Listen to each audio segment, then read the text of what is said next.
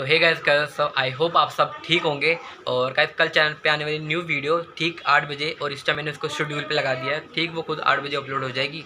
मेरे कुछ करने की लोड है नहीं, बस आप एक चीज़ करना वीडियो पे लाइक कर देना, साथ के साथ कमेंट भी करना, प्यारे प्यारे कमेंट करना गाइस क्योंकि कमेंट में पिछले से दो दिन वीडियो आती है ना जब मैं अपलोड करता हूँ तो उस पर काफ़ी अच्छे कमेंट आते हैं तो वो कमेंट पढ़ने में काफ़ी मज़ा आता है और काफ़ी प्यारे प्यारे कमेंट करते हो आप तो काफ़ी अच्छा लगता है। तो हाँ ठीक, आठ बजे चैनल पे आने वीडियो तो उसको देखना लाइक करना और शेयर कर देना और कमेंट कर देना। बस बाय